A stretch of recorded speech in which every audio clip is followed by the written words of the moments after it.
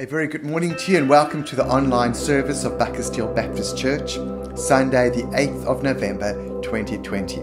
Today is Remembrance Sunday, and throughout the service this morning, we'll be having helpful moments to help us focus around Remembrance Sunday, and at 11 o'clock, we'll be observing a two minute silence. I'd like to open our service this morning with a couple of scripture verses. The first one being Psalm 121, verses 1 and 2. Now, a quote from the Bible which says, I lift up my eyes to the hills. Where does my help come from? My help comes from the Lord, the maker of heaven and earth. And this morning, in our time of worship, I'd like to encourage you to lift up your eyes to the Lord this morning and know Him to be your very present help. Psalm 46, verse 1, the psalmist wrote, God is our refuge and strength a very present help in trouble. And I pray this morning that you'll be encouraged by a time of gathering and worshipping together online, that you'd find God to be your refuge, you'd find God to be your strength and a very present help. Talking about the Lord being a very present help, we are going through a very present situation again here in the UK, going through our November lockdown. And during this time, I pray that you'd find the Lord to be your strength, your peace, and your comfort. We're going to worship together this morning. Our first song is going to be led by Stefan and the team, a song called Remembrance. And from there, we're going to flow into a song led by Toby, declaring the greatness of our Lord. Before we worship together, let us pray together. Father, as we gather together online, I thank you, Lord, that you are with us. I thank you, Lord, that we can trust in you. I thank you, Lord, that we can look far above all earthly powers and principalities, and we can look to you. And we can put our trust and our hope and our confidence in you. Lord, as we gather online as a church this morning, I pray, Lord, that you'd be blessed by our worship and I pray that your Holy Spirit would be at work in miraculous ways in every life and every family represented here. I pray this in Jesus' name. Amen. Church, as we worship together, let's trust that the Lord would be at work in miraculous ways in all of our lives. Let us worship.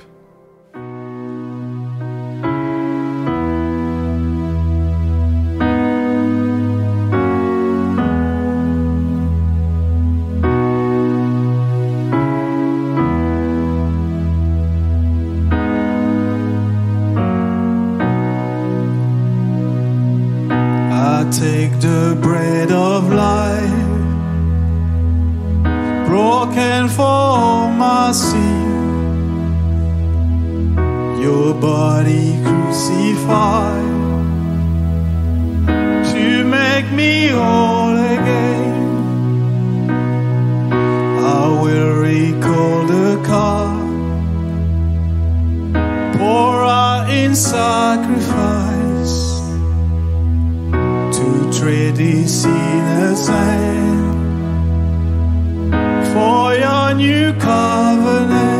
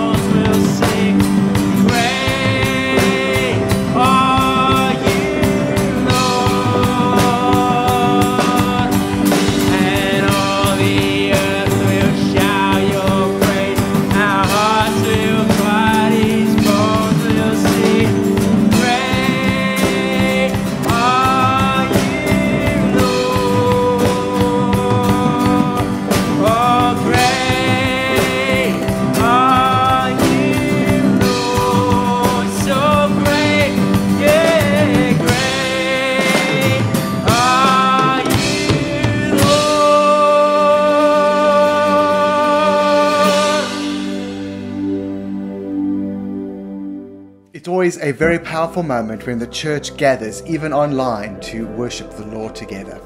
And how wonderful to know that we can live our lives in remembrance of the King of Kings and the Lord of Lords, our precious Lord Jesus Christ. And to know that it's His breath in our lungs and that it's His grace and it's His mercy that carries us. Church, we're going to pray together right now. You may have pressing needs in your own life this morning. During this time, I encourage you to lift them before the Lord. And we're also going to pray for our world at this time. So, Father, as we gather as your people this morning, as this service goes out into the lives and homes of people. I pray, Lord, that your Holy Spirit would bring peace and comfort and strength. And we thank you for your grace that carries us. We thank you for your grace that is sufficient. And Lord, as people have their own needs and issues that they are facing today, I pray that in this moment everyone will be able to present them to you and we thank you, Lord, for your love. We thank you for your mercy. We thank you for your grace. And we thank you for your power that we can trust you to be at work in every life, in every circumstance, and in every situation. We also think of our world, Lord. We think of today being Remembrance Sunday, and we remember, Lord, sacrifices made for the good of many.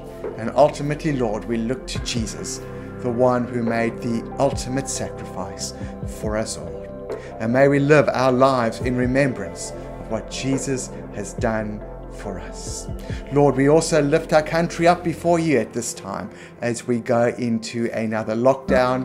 And we pray, Lord, that you would be with people we pray, Lord, that you would minister into the lives of humanity. And I pray, Lord, that even during this time, that believers and that your church would rise up in the power of the Holy Spirit. Pray this all now in Jesus' name. Amen. Folks, we're now going to gather around our giving, and to help us do that, we're going to be having Tony speak to us today. And after that, there's going to be a short video clip on Operation Christmas Child, the shoebox appeal, and like mentioned to you last week, this year we're going to be focusing on online giving that will have direct and very real results in a real world. So, two video clips coming up now for you to be looking at. Good morning, everyone. Just here to remind you about the offering. Psalm 24 says, The earth is the Lord's and the fullness thereof so can I encourage you at this time to continue with your regular giving as an act of joyful worship. At this time we are continuing to raise funds for the thank offering for another couple of weeks and just to remind you that 90% of that will go to the church building fund, 5% to the Baptist Ministers Retirement Fund and 5% to Christian Witness to Israel. So whether you're giving as part of your regular tithe or to the thank offering, please do so via bank transfer, by standing order and by using the donate button on the church website. Thank you and God bless. Every year, we send millions of shoeboxes filled with gifts to children in over 100 countries around the world to show God loves them and delivering good news of great joy. But what if you don't have time to shop and pack a shoebox? It's now easier than ever to pack a shoebox in four simple steps. Step 1 Go to shoeboxonline.org.uk. Step 2 Choose who you want to pack a shoebox for. Step 3 Add toys to your shoebox. Step 4 Personalise your box, add a photo of yourself, and pay for your gift. And all the toys and gifts are packed and sent for you. Thank you for partnering with us. We hope that through our work, children will come to know how much God loves them. Get started at shoeboxonline.org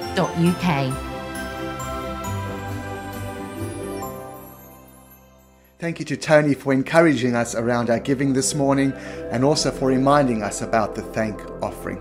There's a whole host of information about our church available online, and why don't you visit our website after the service to find out more about us? Folks, right now we're going to be entering more of a time of focusing in and leaning into the remembrance part of our service this morning. To help us do that, we've got a very special video presentation which I pray will really touch your hearts this morning. And from that, we're going to flow into a two minute silence. And during that two minute silence, I invite you in your homes to stand together to honor that two minute silence.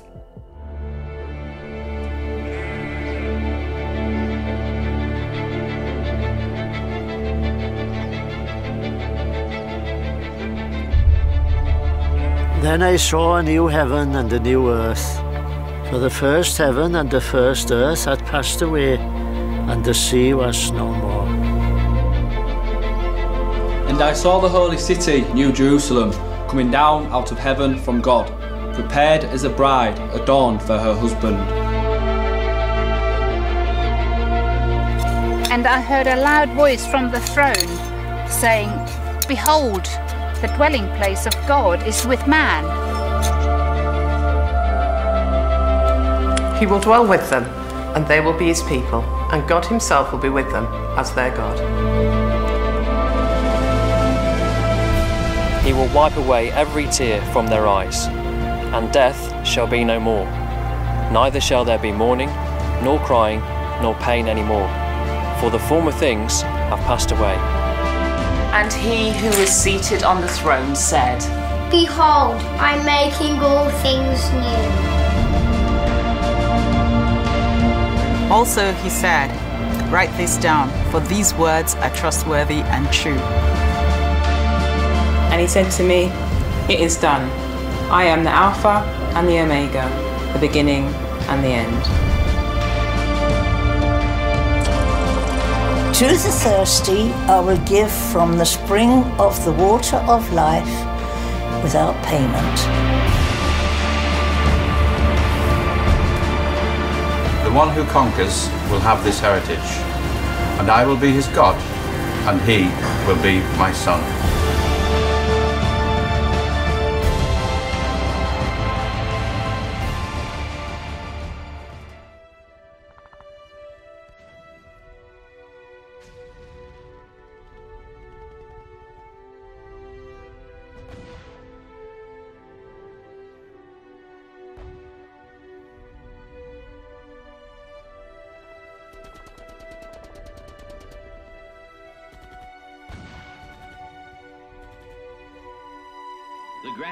Of every home in our island, in our empire, and indeed throughout the world, except in the abodes of the guilty, goes out to the British airmen who, undaunted by odds, unwearied in their constant challenge and mortal danger, are turning the tide of the world war by their prowess and by their devotion. Never in the field of human conflict was so much owed by so many to so few.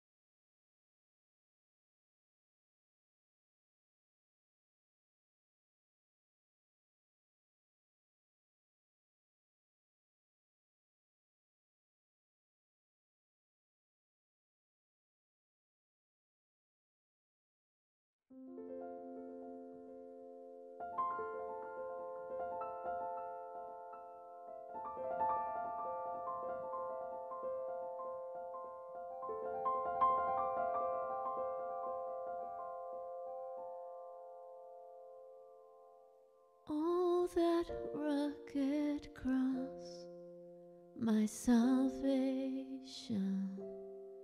where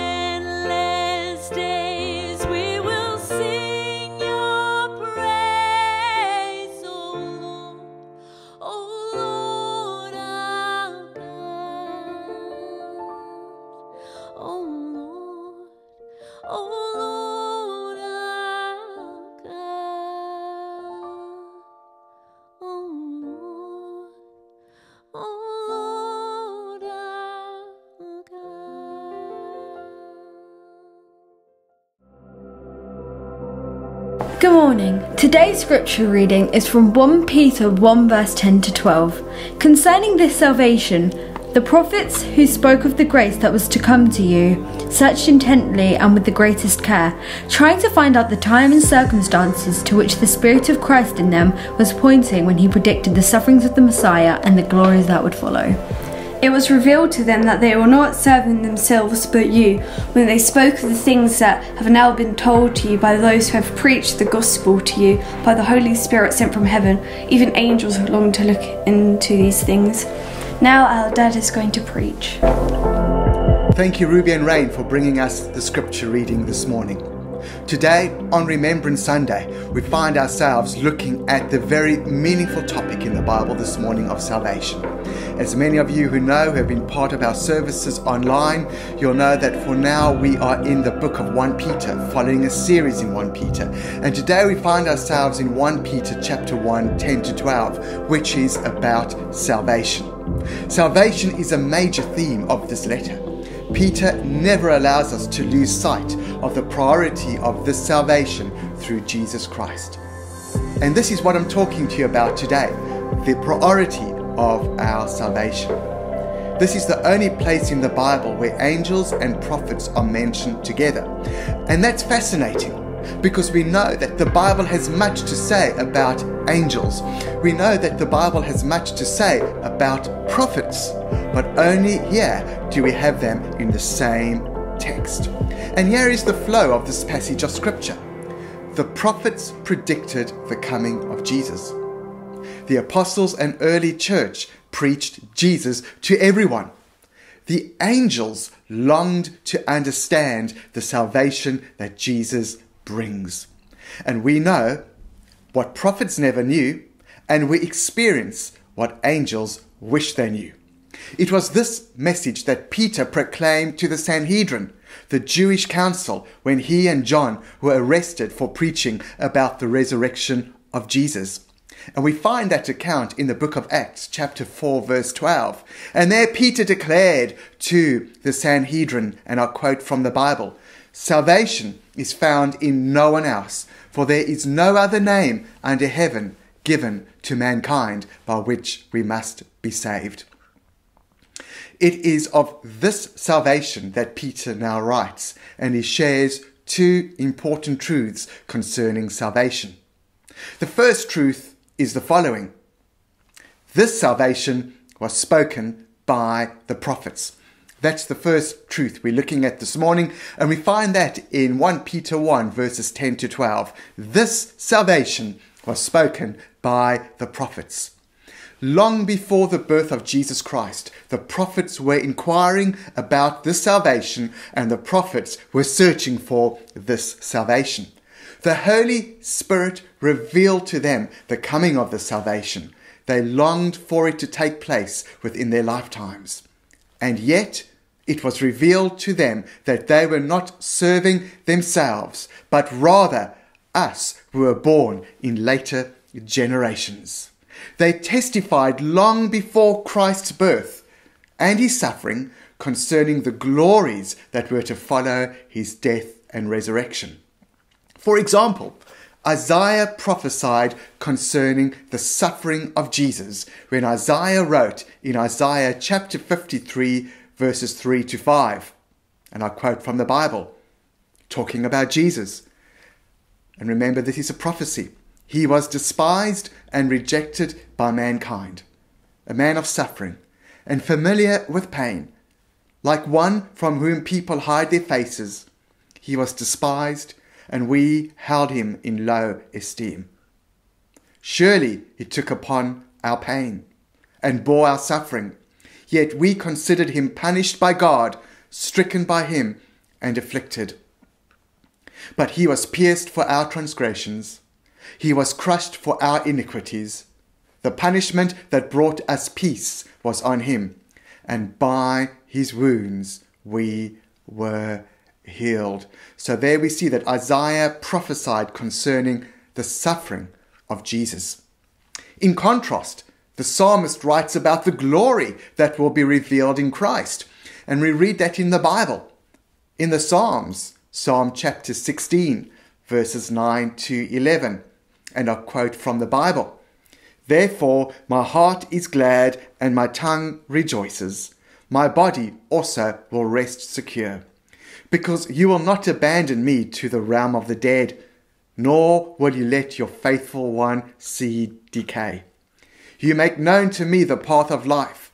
You fill me with joy in your presence, with eternal pleasures at your right hand we see the prophets were called not only to minister to their contemporaries, but they came to understand that they were sharing prophecies which would be a source of instruction and blessing for future generations. And today, on Remembrance Sunday, we think about generations. We think about this generation that benefits from the sacrifices of previous generations. We think about the generation that fought in the wars so that the future generations can have the freedoms that we have today. So, as we lean into God's word today, firstly, we see with salvation being central that firstly, this salvation was spoken by the prophets. Now, in verse 12, secondly, we see this salvation is a heavenly message. This salvation came by the Holy Spirit sent from heaven. It is a message which is eternal. It has been good news to every past generation which has received it. And it shall continue to be good news to this generation and to future generations which shall receive it until the coming again of our Lord Jesus Christ. Now, I need to say, that it is difficult for our minds to conceive just how unusual it is for a message to have eternal qualities. for it to be good news, not just for one people or one generation, but for all peoples and for all generations. Let me attempt to illustrate this fact by asking you to think about the front page of your daily newspaper. Your first challenge would be to find any good news. However, the major challenge will be to recognize the temporariness of the relevancy and urgency of today's headlines. By tomorrow, new developments will take place and will replace those things that seem so urgent to us today. Within a few weeks, most of the news will be largely out of date. And if you were to save that newspaper for many years, it will have historical value, and your grandchildren may enjoy reading about the olden days. But it will have very little contemporary news value in the future. But the message of salvation and the focus of our scripture this morning being the message of salvation is always relevant. It is always urgent. It is appropriate to every generation. It is appropriate to every culture and it is appropriate to everyone. This is for everyone. It is a heavenly message brought by the Holy Spirit and will never become outdated. This salvation has come not merely from the mind of man, but from the Lord Himself. In fact, it is a marvelous message that even the angels of heaven desire to look into it. Can you imagine that? The angels of heaven desiring to look into this message of salvation. The angels are in heaven, we know, are in the presence of the glory and the presence of the majesty of Almighty God. We read about that in the scriptures. Yet they long to look into this message of salvation that we have experienced. Yeah, in scripture, the words look into in the Greek is actually quite marvelous. Look into actually means to stoop down to take a peek. To stoop down to take a peek. The angels of heaven want to take a peek at this wonderful salvation which has been declared by the prophets and revealed by the Holy Spirit and is available for all who will receive it by faith in Jesus Christ as Lord and Saviour. The writer of Hebrews summarizes the situation when he poses the following question in Hebrews chapter 2, verse 3. And I read from the Bible How shall we escape if we ignore so great a salvation? This salvation, which was first announced by the Lord, was confirmed to us by those who heard him. You may ask, why would the angels marvel at our salvation? Well, the answer is quite clear. There are no saved angels because salvation is not for them, salvation is for us. Jesus Christ died to redeem fallen men and women, not the angels. Only human beings can experience redemption. This is the good news for all humanity. We alone, of all the creatures in the universe, can experience the wonders of God's saving grace. This fascinates the angels and causes them to ponder the mysteries of salvation they do not share. Yeah, in Peter's message, it is made clear God loves you so much, the angels are amazed. They know very little about experiencing what we have experienced in terms of grace and mercy and forgiveness.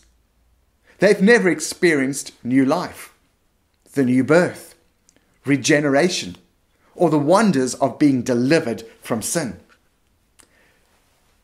That which we have experienced in Jesus, and this is what we have experienced in Jesus, the angels never knew and will never know in the way we know it in this way, perhaps we could say that we are more privileged than they are in terms of salvation. Yet, here is our greatest sin. Our greatest sin is taking for granted what God has done. Those things that cause the angels to rejoice, and Luke 15, verse 10 says that even one sinner who comes to repentance cause the angels to rejoice. So, those things which cause the angels to rejoice, our sin is we take for granted. If we stand back, we can see the whole passage clearly. What the prophets prophesied but could not understand, what the angels wonder but could not experience, we understand and we experience every single day of our lives. We could therefore say that we are thus more blessed and more privileged than the prophets and the angels. We live in a time of prophetic fulfillment. We have privileges even the angels don't have. We are privileged beyond our dreams. In conclusion, Jesus is the meaning of history. History truly is his story. Salvation is the purpose of history. And by salvation, I'm talking about salvation in the larger sense of all that God intends to do to bring redemption to this planet. Salvation is the story of the greatest rescue mission in the history of the universe. It's about God sending His Son, Jesus Christ, to die on the cross and to rise again from the dead, and then offering forgiveness and freedom to all who will believe in His name. And it's about God's plan to establish the church around the world as a means by bringing His light into this world. We are therefore such a blessed people in history. We know things the prophets never knew. We experience salvation the angels never experienced. We know Jesus Christ and therefore we understand history in a way that would otherwise be possibly lost. Let us discover the very thing Peter was talking about. Let us realize how privileged we are to know Jesus Christ. Let that lead us to talk about Him. Whenever our hearts are gripped with the enormous privilege of knowing Jesus, no one needs to tell us or remind us to go out and make disciples. No one has to tell us to evangelize. In fact, I'd like to say when our hearts are gripped with this enormous privilege of knowing Jesus, no one will be able to stop us spreading the good news of Jesus. For all who receive this great salvation, all who receive the salvation are blessed. It brings joy unspeakable, it is full of glory, and it promises eternal life.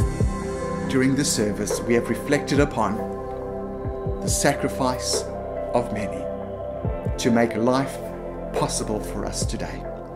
And at the conclusion of this service, we now focus on the sacrifice of Jesus Christ to make eternal life possible for us and to make salvation every day possible for us. If you've wandered away from the Lord, perhaps this morning, as we remember, you could recommit your life to the Lord. If you've never given your life to Jesus, perhaps this morning, as we remember this great salvation, the priority of salvation, you could make Jesus the priority of your life and give your life to Him.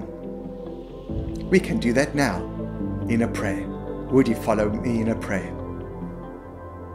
Dear Jesus, thank you that you love me. Please forgive me a sinner. I believe you died on the cross and rose again from the dead. Thank you that you did that for me. I remember your sacrifice. And today, I invite you into my life as my Lord and Savior. In Jesus' name, Amen. Now, folks, the Bible says that when one sinner repents, the angels in heaven rejoice. So if you prayed that prayer this morning, the angels in heaven rejoice.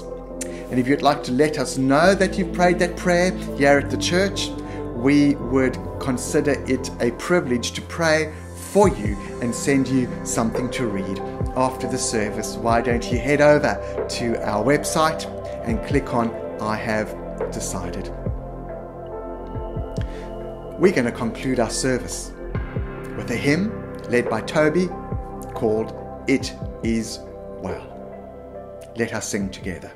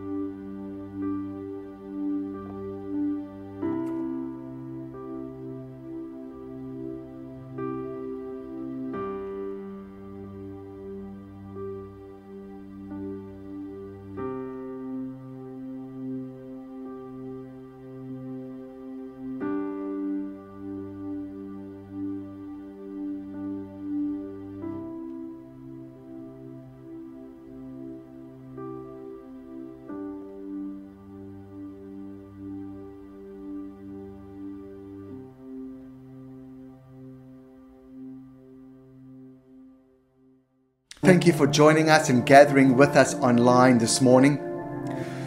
For the updates about our church, head over to our website bhbc.org.uk or follow us on our Facebook page. Look forward to gathering again next week online on our YouTube channel. Now for the blessing. May the Lord bless you and keep you. May the Lord make his face shine upon you. May the Lord be gracious to you. May the Lord lift up his countenance towards you and give you his peace. Amen.